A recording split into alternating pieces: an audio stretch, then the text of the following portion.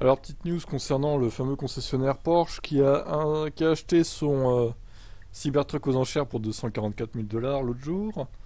Mais maintenant, il a mis une annonce. Et ben, il le met à 289 000 dollars. Bah, il veut se faire un bénéf, hein, c'est logique. Oh là là. Mon dieu, mais qui va acheter à ce prix-là le Cybertruck, quoi? Non, il faut vraiment être un, un fanat de Tesla hein, pour acheter ce véhicule à un prix pareil. Franchement, ça n'a aucun sens. J'espère, j'espère qu'il va pas le vendre. Ça lui fera les pieds. Franchement, il a voulu faire le beau là. Le concessionnaire a l'acheté euh, hors de prix, mais enfin 300 000 dollars presque. Je sais pas si vous vous rendez compte pour un pick-up quoi. C'est vraiment n'importe quoi. Moi, je parie qu'il va pas le vendre. Qu'il va devoir baisser le prix. Et même, en vrai, 244 000, c'est juste un prix prohibitif. Donc, euh, après, si. Peut-être une star euh, qui veut un Cybertruck rapidement, qui va vouloir l'acheter. À mon avis, il compte sur ça, quoi.